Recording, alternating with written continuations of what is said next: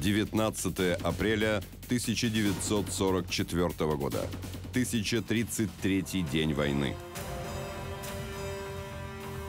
Сегодня на Кишиневском направлении советские войска продолжали вести бои по расширению плацдармов на правом берегу Днестра и значительно улучшили свои позиции.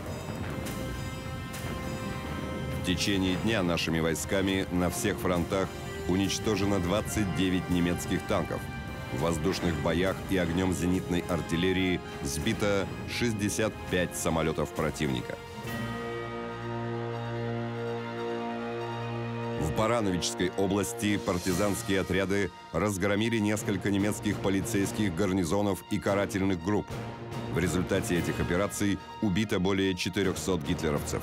Захвачены 34 пулемета, 4 миномета и 330 винтовок.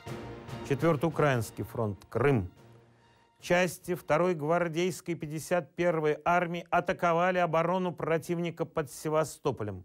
Атака успеха не имела, так как напоролась на яростные контратаки немцев, опиравшихся на свои мощные оборонительные позиции.